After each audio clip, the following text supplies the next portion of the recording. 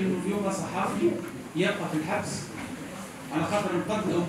تتبعات متلاحقة وصلت إلى حد إيقاف الزميل آه، زياد الهاني من أجل كلمة والصحفيين في الحقيقة ليس لهم سوى آه، الكلمة.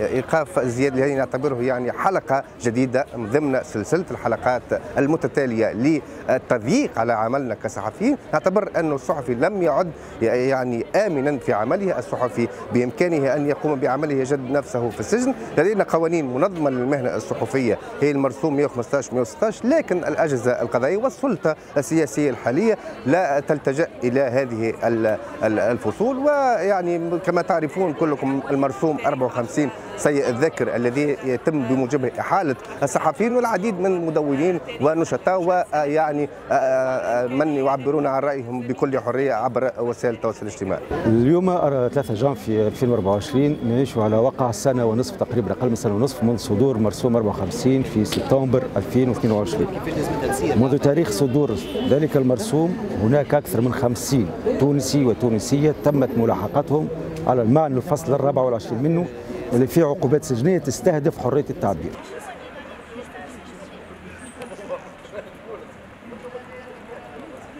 اليوم لابد من تكون الإشارة واضحة بأن من أصدر الحكم هو القضاء. علينا أن نضع القضاة. كل القضاة أمام مسؤوليتهم التاريخية والأخلاقية هم يصدرون أحكاما بسجن أشخاص أبرياء لمجرد.